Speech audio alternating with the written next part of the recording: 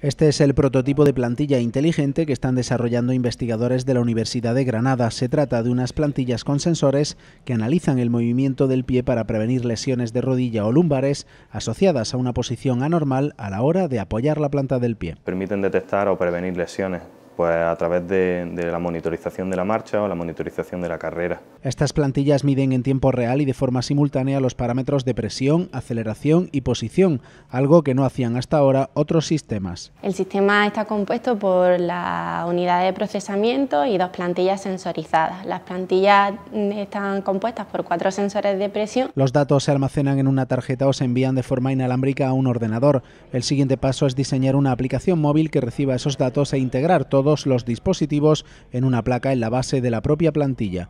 De momento, están validando el sistema en el Laboratorio de Biomecánica del Instituto Mixto Universitario Deporte y Salud. El funcionamiento del sistema consiste en que a través de las plantillas sensorizadas se registran los datos de la presión, de la velocidad de la, dirección y del movimiento que se transmiten a la, a la unidad de procesamiento. Las aplicaciones de estas plantillas van desde el estudio del reparto del peso de las embarazadas en la planta de los pies y su repercusión en los dolores de espalda hasta las pautas de una serie de ejercicios como saltos o carrera a los que están sometidos los deportistas para establecer su predisposición a practicar un deporte. Se prevé o se quiere aplicar también en enfermedades como el Parkinson, en el estudio de la marcha o en gente que tiene problemas del sistema de equilibrio. Sus destinatarios pueden ser deportistas que quieran mejorar su rendimiento corrigiendo la posición de los pies, médicos o fisioterapeutas para detectar malos hábitos al andar o correr e incluso aquellos ciudadanos preocupados por su salud y bienestar.